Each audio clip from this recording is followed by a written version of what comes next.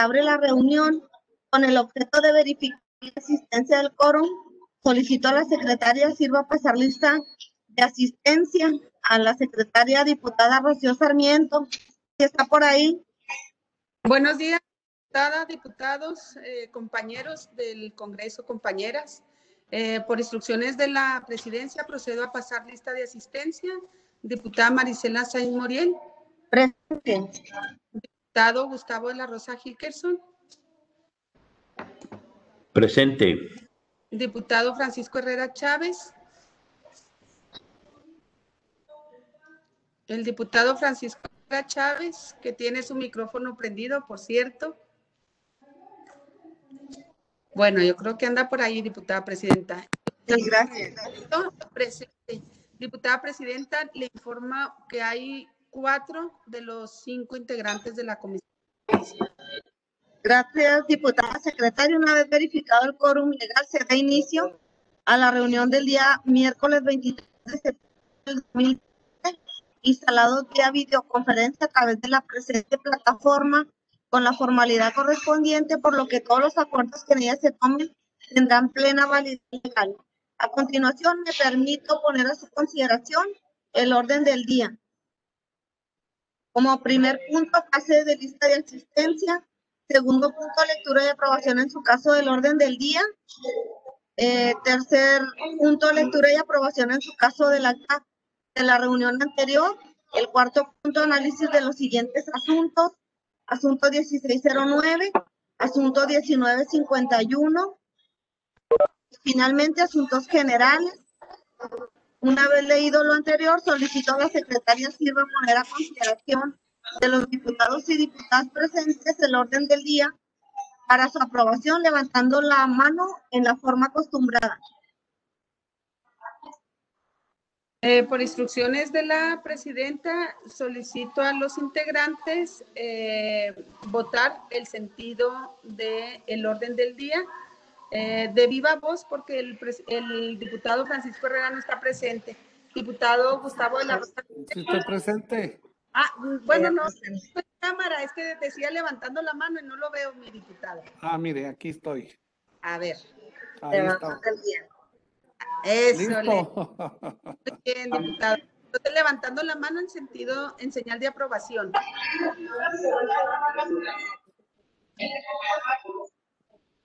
Eh, diputada presidenta, le informo que hay unanimidad de los eh, presentes eh, respecto al orden del día. Gracias, diputada secretaria. Pasando al tercer punto del orden del día, relativo a la aprobación en su caso del acta de la reunión anterior, solicito omitir su lectura porque con independencia de ser enviada por correo electrónico es videograbada y consultada públicamente sin restricciones. De ahí que si no existe objeción o comentario respecto a su contenido, solicitaría someter la aprobación, por lo que le pido a la secretaria se sirva a someter a consideración de las y los integrantes de la comisión el acta de la reunión anterior, informe el resultado de la misma. Eh, por instrucciones de la presidencia, solicito el sentido de su voto respecto a la aprobación del acta anterior de la, de la reunión, de la reunión anterior, perdón. Eh, diputada Marisela Sainz Moriel. A favor. Diputado Gustavo de la Rosa A favor. Diputado eh, Francisco Herrera. Francisco Herrera. A favor. ¿Sabe que diputado en su, ahí en su nombre aparece primero Herrera? A favor. A favor. Diputada Rocío Sarmiento, a favor. Diputada Presidenta, le informo que hay cuatro votos a favor. Gracias, diputada secretaria. Se aprueba el acta de la reunión anterior. En el cuarto punto del orden del día, pasamos al análisis de las siguientes iniciativas. El asunto 1609, iniciativa con carácter de decreto a fin de adicionar un párrafo al artículo 193 del Código Penal del Estado con el objeto de proteger los derechos de los adultos mayores. Por lo que le pido a- al secretario técnico dé un avance del análisis del dictamen. Muchas gracias, diputada presidenta. Con su permiso, diputados, diputadas, compañeros, compañeras. Como lo acaba de mencionar la diputada presidenta, se trata de la iniciativa enunciada con número de asunto 1609, presentada por el diputado Omar Bazán, integrante del grupo parlamentario del PRI. Dicha iniciativa, como pueden apreciar en el documento que previamente les enviamos, plantea un problema, es decir, el maltrato a las personas adultas mayores. Y para poder solucionar este problema que se da tanto por acciones u omisiones, propone la creación de un tipo específico de la violencia familiar. Eh, diputada presidenta, si me permite, mm, voy a unar algunos puntos, toda vez que ya les he compartido este, este proyecto eh, e incluso compartirlo para tratar de hacerlo más didáctico y llegar al, punto en donde solicitaríamos la resolución de ustedes. ¿Sí? Gracias, diputada. Este, voy a compartirles precisamente el documento que les que les. A ver si se ve en pantalla. Sí, sí se alcanza a apreciar, ¿verdad? Perfecto. Bueno, vamos a pasar directamente al comparativo. De esta parte, en esta parte tienen la violencia familiar vigente. En esta parte encontrarán la violencia familiar específica que refiere el iniciador. Aquí nosotros lo dividimos en dos partes. Una, donde el iniciador abona con nuevos elementos. Y dos, en donde prácticamente eh, contiene los mismos elementos que la violencia familiar. Es decir, ustedes aquí pueden apreciar, esta parte son nuevos elementos y la parte subrayada es la que concuerda con la violencia familiar. Entonces voy a omitir toda esta parte porque es la misma del, artículo vigente, para enfocarnos en los nuevos elementos que propone. Cuando nos vamos a los nuevos elementos, que son estos, propone el abandono, integrar el elemento abandono, el maltrato, que puede ser físico, sexual, psicológico, emocional. También propone que cuando se ejerza por razones, o sea, que se ejerce esta violencia por razones económicas o materiales, cuando exista negligencia y por último, cuando exista menoscabo grave a la dignidad o a la falta de respeto. Bueno, en base, ahorita vamos a atacar este, este sexto punto, pero en base a estos cinco nuevos agregados o nuevos elementos al tipo de violencia familiar, tenemos que el abandono, que es este, perdón, este abandono ya lo encontramos en el artículo 154, que dice, a quien abandone una persona incapaz de valerse por sí mismo. Eso se encuentra vigente en nuestro Código Penal.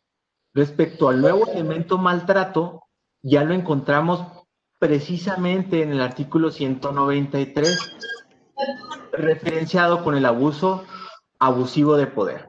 Lo mismo sucede con el maltrato físico, sexual o psicológico, se encuentra en el 193 del mismo ordenamiento penal.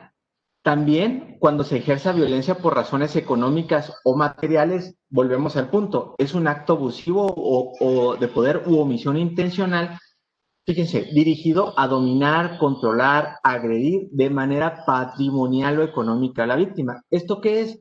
Pues son las eh, es la violencia económica a la que hace referencia el iniciador en, este, en, esta violencia específica.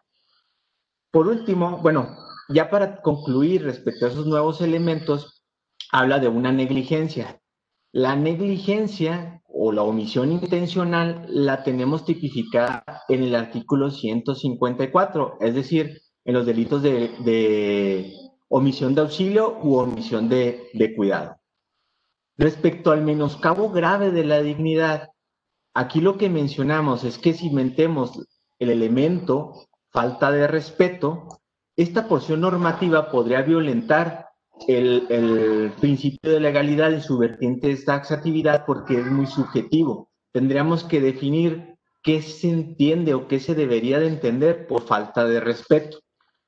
En cuanto al menoscabo a la dignidad, que también propone el iniciador, debemos de tomar en cuenta que la dignidad integra pues todo el ordenamiento, permea en todo el ordenamiento jurídico y el Código Penal de Chihuahua no es la excepción. Tan es así que nosotros tenemos tipificado los delitos contra la dignidad de las personas o la omisión de auxilio, de cuidado, incluso en la violencia familiar está integrada la, eh, eh, la dignidad o tutelamos la dignidad de las personas. En cuanto a estos cinco elementos que de manera muy ejecutiva les compartí, porque ya los habíamos debatido en, en reuniones pasadas, ¿tienen ustedes alguna duda o alguna pregunta?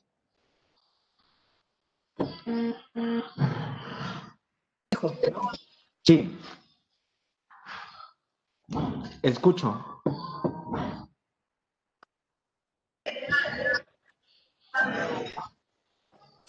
Soy de la Rosa. Tengo totalmente claro eso. Tengo totalmente clara eh, que ya está regulado por, por eh, otros preceptos, los planteamientos que presenta la iniciativa. Gracias. Ok. Respecto, entonces pasaré, si me lo permiten, al punto de debate. Esta última porción que habla sobre tutelar a las personas adultas mayores, que es la finalidad de la iniciativa. Déjenme, voy a esa parte. Ok. Aquí. Eh, como saben, deje quito la pantalla, si me lo permiten, porque no los alcanzo a apreciar. Aquí está. El problema que visualizamos en el análisis que les habíamos mandado es que el iniciador planteaba establecer esta violencia familiar específica con la misma pena de violencia familiar. Entonces hacíamos la reflexión qué casos tenía establecer esta, esta especificidad si contenía primero los mismos elementos de la violencia familiar y segundo en la violencia familiar no distinguíamos una cualidad específica del, del, pasivo con esa rigurosidad. ¿Por qué? Porque nosotros, eh, la violencia familiar, pues se da entre eh, estas personas que tienen este vínculo, pero no especificamos, oigan, tiene que ser un niño menor de 12 años o tiene que ser un niño mayor de, de 17. Es decir, no tenemos esta especificidad de, del sujeto pasivo. Pero lo que sí pudiéramos hacer, y aquí está el punto de debate, es si se pretende tutelar de esta forma a las personas adultas, que sea, como lo refieren en parte de su iniciativa, que sea las personas adultas en estado de vulnerabilidad, pero agravando la pena. Les voy a compartir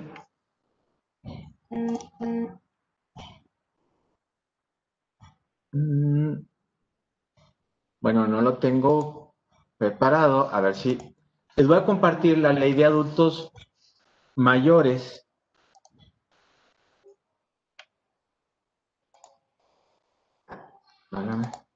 Aquí está. Esta es la ley de, del Estado de derecho de las personas mayores en el estado de Chihuahua. El artículo 6, fracción 22, nos dice quién es una persona mayor. Y una persona mayor es aquella que ha cumplido más de 60 años.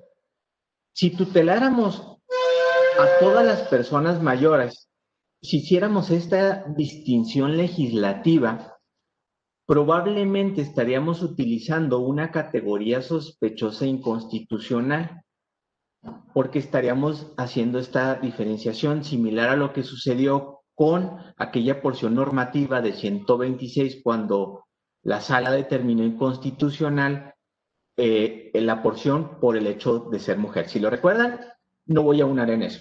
Sin embargo, si nosotros estableciéramos que se agrava la conducta cuando el delito se comete en contra de una persona mayor, pero que se encuentre en situación de vulnerabilidad, ahí no estaríamos, estaríamos haciendo una distinción legislativa. estaríamos empleando probablemente una categoría sospechosa, pero constitucional. ¿Por qué? Porque eh, requieren mayor tutela por parte del Estado estas personas. De ahí que eh, si pudiéramos establecer esta distinción para tutelar a las personas adultas mayores.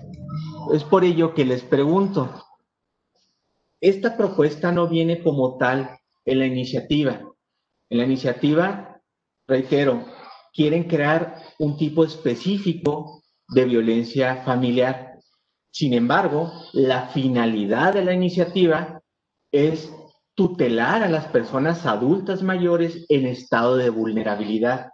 Es por ello que proponemos, si es que ustedes así lo, consideran, agravar la pena para tutelar este sector poblacional. Por mi parte es cuanto. Si tienen alguna duda, alguna pregunta, con mucho gusto iniciaremos el debate. Si me permiten, Memo, yo creo que es muy buena propuesta que se agrave la, la conducta por, por encontrar a personas este, adultas mayores en situación de vulnerabilidad. Yo creo que todos conocemos a muchos que están enfermos, que están sin trabajo, que están discapacitados y que vemos cómo se ensañan más con ellos porque ellos ni siquiera pueden pedir auxilio y sabemos de sus casos por los vecinos, ¿no? Que son los que nos informan de cómo están viviendo, pero pues no hay esa sanción y, más que nada es como dignificar su, su trabajo, dignificar lo que ellos hicieron por nosotros y que hoy les regresemos poco de lo mucho que ellos merecen dignificándolos a través de eh, agravar conductas que los afecten cuando están en estado de vulnerabilidad. No sé qué digan los demás diputados, pero la verdad es que yo sí veo viable esta propuesta de, de, que, de agravar las conductas eh, para accionar a personas que este, contra de una situación vulnerable de un adulto mayor. Eh, de acuerdo, Guillermo. Yo estoy de acuerdo, creo que la finalidad del iniciador se cumple precisamente en la protección al estado de vulnerabilidad. A mí se me hace bien el análisis que hacen y también estaría de acuerdo como lo está proponiendo Guillermo Trejo. Adelante, licenciado Guillermo. También de acuerdo. ¿Sí se escucha? Sí, diputado, le escuchamos. Ah, gracias.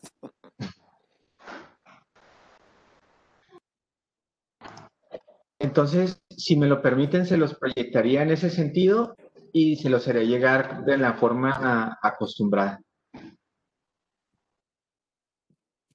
Muy bien, muchísimas gracias. Vamos al siguiente asunto. Sería el 1951, iniciativa con carácter de punto de acuerdo, a fin de exhortar al titular ejecutivo estatal, al presidente del Supremo Tribunal de Justicia y del Consejo de la Judicatura, al fiscal general de justicia del Estado de Tamaulipas, así como al titular de la Comisión Nacional de los Derechos Humanos a buscar las vías alternas de solución de conflictos en las carpetas de investigación correspondientes a la licenciada Susana Prieto Terrazas, en consecuencia extinguir la acción penal y decretar su libertad inmediata. Este, iniciador o promovente, diputado Benjamín Carrera Chávez, diputado Francisco Humberto Chávez Herrera, ambos de Morena, le dejo la voz al secretario técnico para que nos ah, oriente sobre esta iniciativa.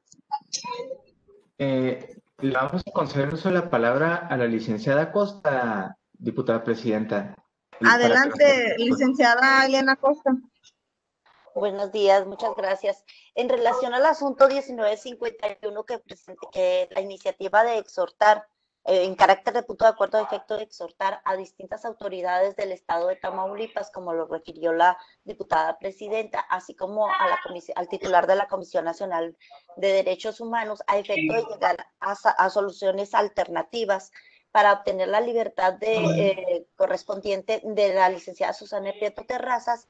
El, el promovente refiere como planteamiento del problema que se han violentado derechos, que se habían violentado derechos fundamentales de la persona al no llevarse a cabo el debido proceso y violando por ende el principio de presunción de inocencia.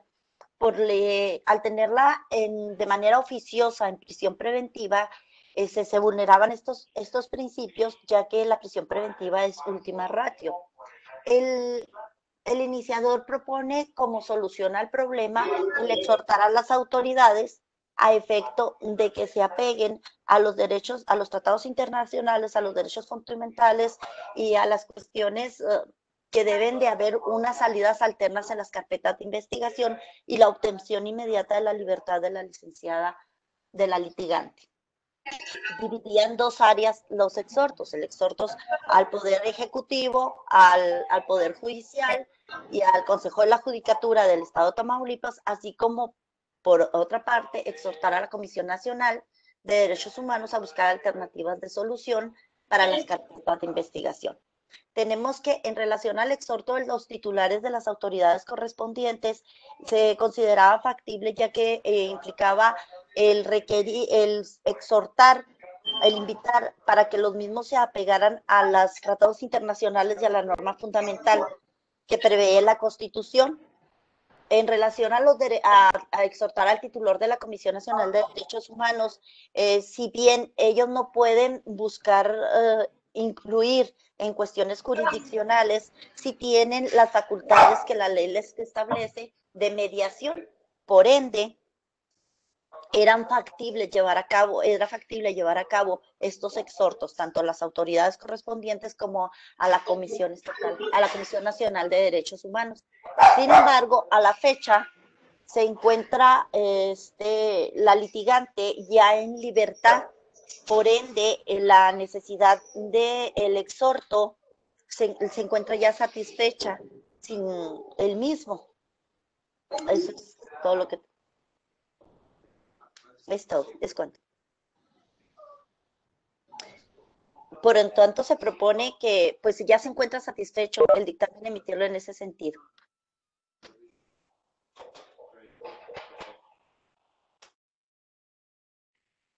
Adelante. por las explicaciones que da la licenciada Elena Acosta, el análisis que ha hecho, eh, considero este, se, eh, le asiste la razón y estoy de acuerdo el sentido del exhorto, pues que ya se encuentra satisfecho con las razones que ha expuesto.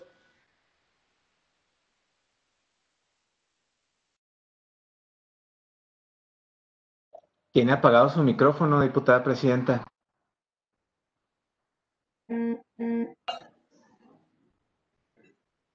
Gracias. Igual en el mismo sentido, que ya se dé por satisfecho toda vez que ya está la litigante en libertad y yo creo que ya estaríamos en actitud de votar este, el sentido de este dictamen, ¿no, Memo? ¿Vas a preparar un dictamen?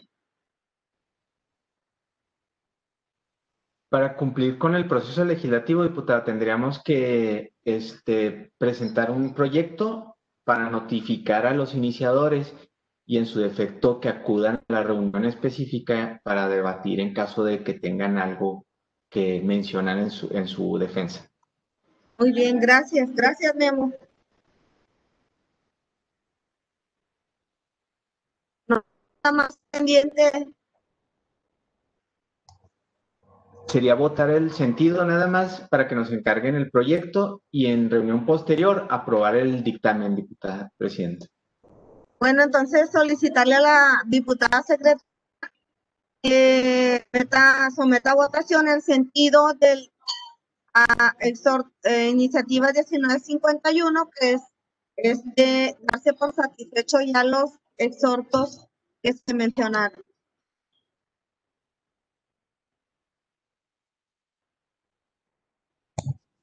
Eh, yo no, no estoy totalmente claro de que se hayan satisfecho eh, los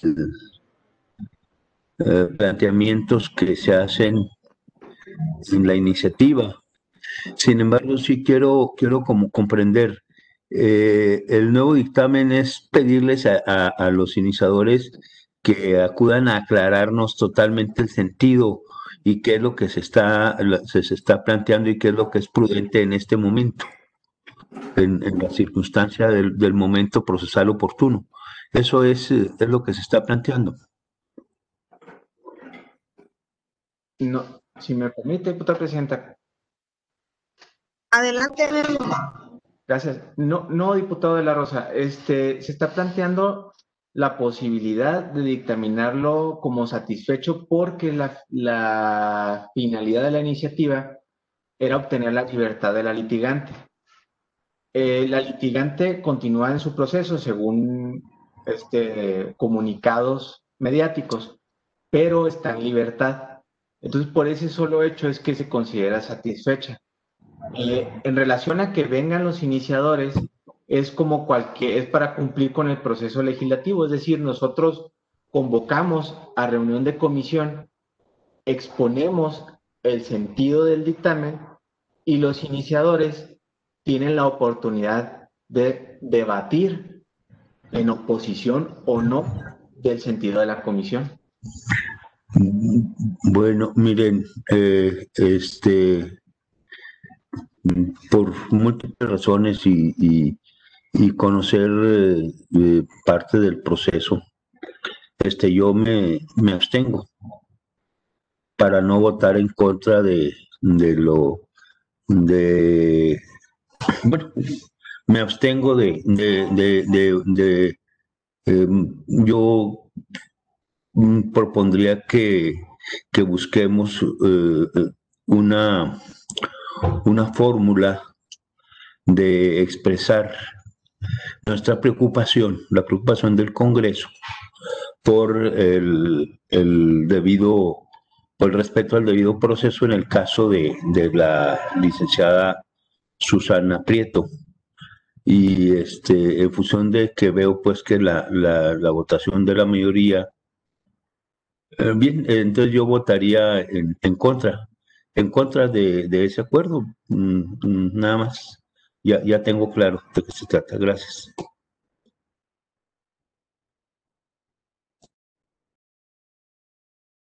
Entonces sometemos a, votación la iniciativa que se, el sentido sería que se da por satisfecha cada vez que se solicitó la libertad de la profesionista y se encuentra en libertad. Eh, solicitarle a la diputada sometió el sentido de la iniciativa 1951 que se da por satisfecho los exhortos.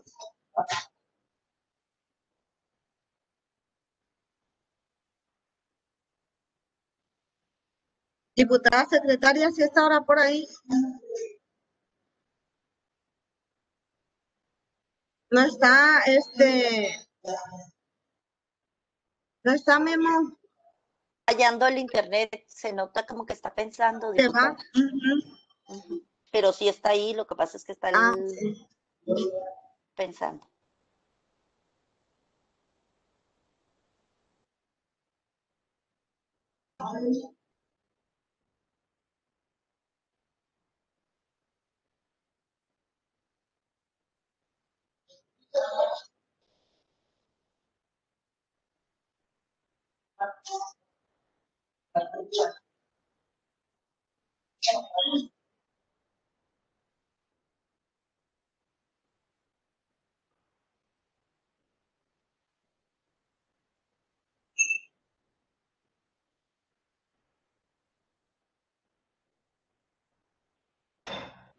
Presidenta. Y adelante, Memo. Gracias. Ya, ya se pudo conectar la diputada Sarmiento. Bueno, otra vez le aparece su problema de conexión. De todas maneras, tenemos quórum. Está el diputado de la Rosa, el diputado Humberto Chávez y usted. Entonces, en vista del problema de comunicación que tiene la diputada Rocío Sarmiento, este, podemos meterlo, someterlo a votación o esperamos a la diputada, como ustedes me digan.